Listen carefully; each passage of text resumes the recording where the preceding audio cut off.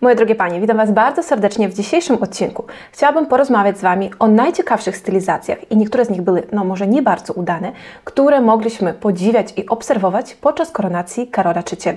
Dzisiaj chcę pokazać Wam moje ulubione stylizacje i dlaczego one mi się podobają, wytłumaczyć Wam, dlaczego one też tak dobrze wyglądają oraz zwrócimy uwagę na te, które były mniej udane i też zadamy sobie pytanie, dlaczego one właśnie no, wyglądały gorzej. Więc jestem pewna, że będzie ciekawie, poznawczo i nauczymy się czegoś nowego. Ja nazywam się Violeta Timur, mówię o kobiecości, o stylu i życiu z klasą, dlatego subskrybuj ten kanał, jeśli jeszcze tego nie zrobiłaś. A ja przechodzę do omawiania pierwszej pary królewskiej, która mi się naprawdę bardzo spodobała. To jest oczywiście królowa Hiszpanii. Myślę, że chyba zgadliście też, bo ja też bardzo lubię różowy kolor, więc jej stylizacja naprawdę mi się no, bardzo spodobała. Po pierwsze, z powodu tego koloru i wyboru kolorystycznego. W jej wypadku to był taki zestaw, czyli to był żakiet i była spódnica. I napiszcie mi oczywiście też, jak Wam się spodobała ta stylizacja, czy Wam się ona właśnie tak samo podoba jak dla mnie, ale ja zaraz powiem Wam, co mi się nie do końca właśnie spodobało. I zobaczcie, że Tutaj wybór jej szpilek z odkrytą piętą jest naprawdę bardzo charakterystyczny tym, że teraz to jest bardzo modne. To jest po prostu w trendzie, więc możemy widzieć, że coraz częściej, nawet Kate też dzień przed koronacją wybrała też takie y, czulenka właśnie z odkrytą piętą i wyglądają one naprawdę no, fajnie, troszkę tak zmyslowo, więc no, podkreślają tą taką kobiecość, może też seksowność troszeczkę. I zobaczcie, że właśnie do takich szpilek możemy założyć też rajstopy. Jak najbardziej, no tyle oczywiście musimy dbać, żeby chyba były one prawie za każdym razem nowe, tak, żeby ta pięta no nie było żadnego tam koloru. Właśnie jak ja się przyglądałam królowej Letycji, nie mogę odróżnić, no nie widzę, mi się wydaje, że może ona nie ma tych rajstop, chociaż oczywiście na takie okazje te rajstopy są wymagane, więc zapewne no, są tak dobrze dopasowane kolorystycznie do koloru jej skóry, że po prostu no nie widać ich i są też takie cienkie 8D. Jedyne, co mi się nie spodobało, to ten kapelusz. Nie wiem, jak Wam on się właśnie przypodobał. Mi się on trochę takie, wiecie, przypomina takiej klosz nad lampą,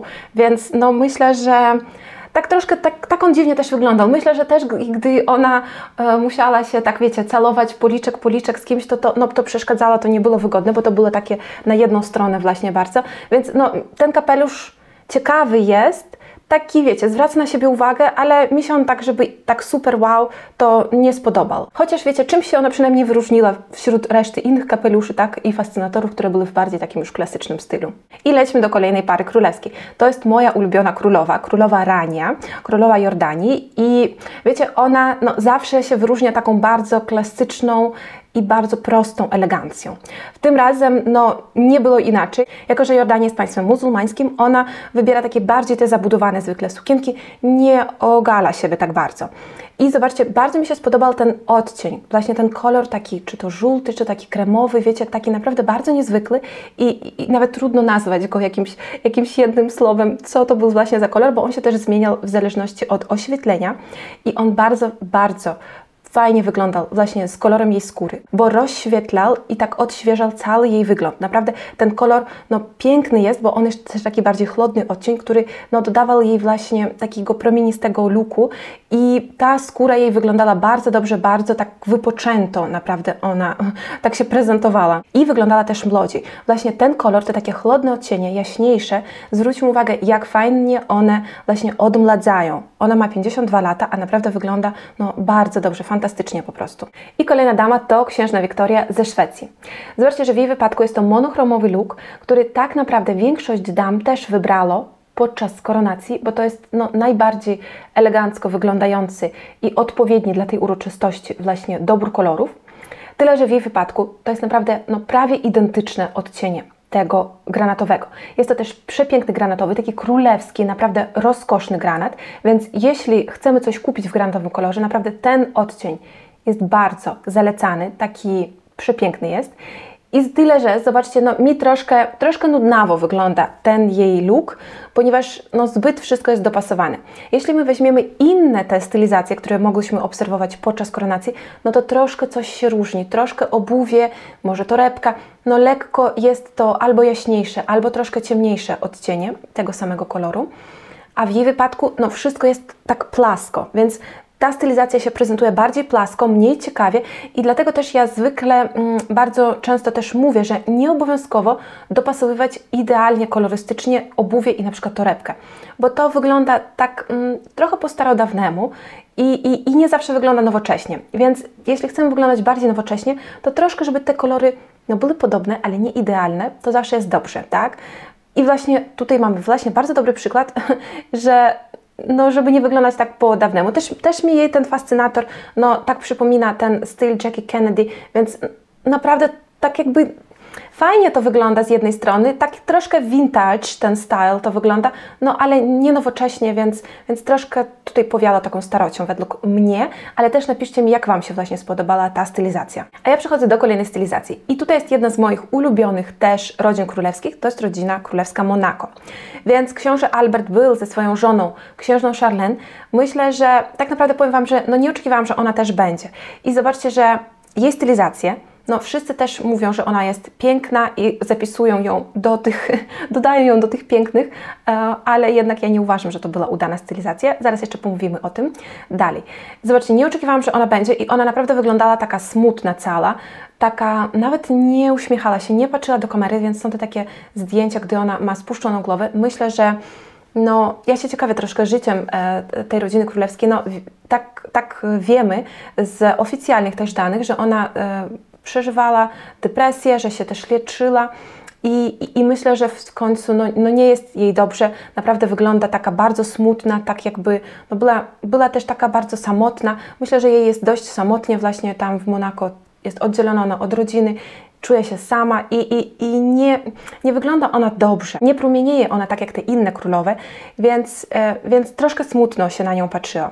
A teraz wróćmy do jej stylizacji. Mi się bardzo podoba ten kolor, który właśnie jest tutaj wybrany. Jest to zimny odcień takiego śmietankowego, kremowego, który myślę, że jest takim jednym z najlepszych wyborów. Jeśli chcemy sobie kupić coś, jakąś sukienkę, jakiś żakiet, żeby to trwało nam przez lata i naprawdę służyło niezależnie od mody, to naprawdę ten kolor jest bardzo dobrym wyborem. I ten chłodny kolor jednak pasuje dla większości z nas i bardzo on tak rozjaśnia i dodaje takiego blasku właśnie dla naszej skóry, ale jeśli mamy bardziej rude włosy, jakieś piegi, tak, to no wtedy nam pasują ciepłe odcienie, więc wtedy no ten e, zimny odcień nie będzie dobrze wyglądał, więc to jest taki wyjątek, zwróćcie uwagę. I teraz właśnie o tym, dlaczego mi się nie spodobał ten look. Po pierwsze, pamiętamy o tym, że ona była kiedyś zawodową pływaczką, więc no chcesz, nie chcesz, ta właśnie sylwetka się zmieniła jeszcze bardziej i ramiona ona ma bardzo rozbudowane, podczas gdy biodra ma e, węższe. I w jej wypadku bardzo często widzę, że jej stylizacje są źle dopasowane do jej typu sylwetki. Ona ma właśnie typ sylwetki odwróconego trójkąta. I w tym wypadku to samo jest, że ta linia ramion jest jeszcze bardziej zwiększona. Oczywiście teraz to jest modne. Teraz są modne takie oversize żakiety, więc myślę, że tutaj no, próbowano dodać tej takiego no, współczesności takiej, ale no, źle to wygląda, ponieważ ma właśnie te takie poduszki pod ramionami, widoczne bardzo dokładnie i no, one przecież tylko zwiększają te ramiona, robią je jeszcze bardziej męskimi. Ale w jej wypadku designer no, próbował pewnie to zbalansować długością tego żakietu.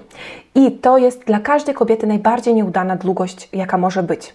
Ponieważ ona się kończy na najszerszym miejscu naszego ciała, tak? czyli na najszerszym miejscu bioder, i wtedy po prostu cała uwaga jeszcze bardziej się przykuwa i przywiązuje do tej szerokości, czyli biodra wyglądają jeszcze bardziej szersze. I właśnie dlatego Charlene wygląda taka ogromna, tak też bardzo męsko wygląda, bo te ramiona są ogromne i też biodra optycznie są naprawdę no, zwiększone, więc nie wygląda to dobrze. I myślę, że naprawdę jest bardzo szkoda, ponieważ ona jest naprawdę piękną kobietą, no taka nie bardzo udana u niej stylizacja. I kolejna stylizacja, która naprawdę bardzo mi przypadła do gustu, należy do Lady Louise, 19-letniej dziewczyny. Ona jest jest córką najmłodszego syna królowej Elżbiety, tak? To jest książę Edward. Ponieważ podczas koronacji dorosłe kobiety wybrały takie bardziej poważne stroje, tak? Ponieważ okazja jest bardzo uroczysta, a ona właśnie ma tą taką lekką, bardzo kobiecą sukienkę w kwiaty, która naprawdę wygląda bardzo tak miękko i miło i przyjemnie i też bardzo fajnie odzwierciedla jej wiek. Więc myślę, jeśli kobieta w starszym wieku w średnim wieku też, mam na myśli, że już jak ma za 30 lat, to nie wyglądałoby tak bardzo to dobrze, ponieważ no nie byłoby tak na 100% stosowne do okazji, tak, i do wieku. A właśnie tutaj, w tym wypadku, naprawdę, no, piękna ona jest i, i taka delikatna bardzo. Napiszcie mi, jak Wam się podoba. To, co mi się bardzo też podoba, że fascynator jest w kolorze błękitnym. Po prostu wybrano ten taki dominujący błękitny, z tej stylizacji, z sukienki, z tych motywów kwiatowych, tak? I kapelusz już jest w tym kolorze.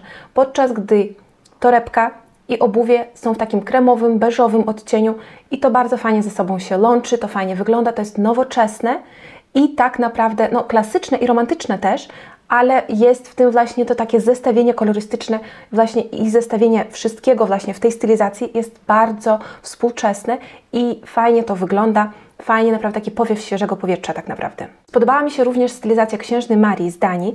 Ona ma też taki klasyczny styl. Wybrała ona tutaj no troszkę inny kolor niż większość, bo bardziej ciemny i taki żywy, ten fioletowy jest no, wyróżnia się tak naprawdę. Napiszcie, jak Wam się podoba ta stylizacja. Też ona jest monochromowa i bardzo, bardzo też podobne kolory ma. I fascynator, i właśnie jej szpilki. Jednakże, zobaczcie tutaj, nie wygląda to aż tak bardzo nudno. Tak naprawdę mi ta stylizacja całkowicie nie jest nudna. Nie wiem jak dla Was, napiszcie mi proszę, jak to widzicie.